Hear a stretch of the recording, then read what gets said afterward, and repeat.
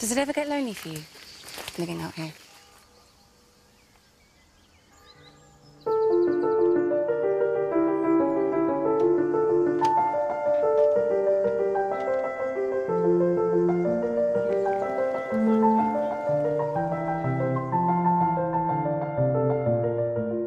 Bonsoir.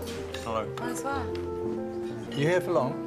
No, just a few days. I'm Suzanne, by the way, and this is Mark. I'm Joseph. This is my wife, Brenda. We met in 1962 when I was 23.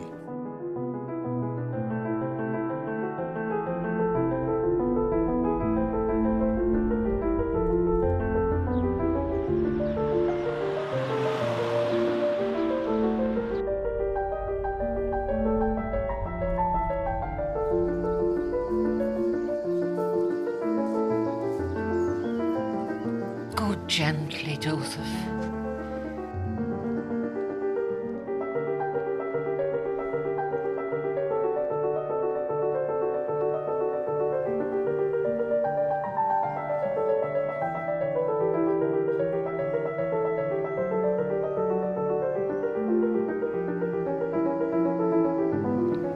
When it comes to something like this,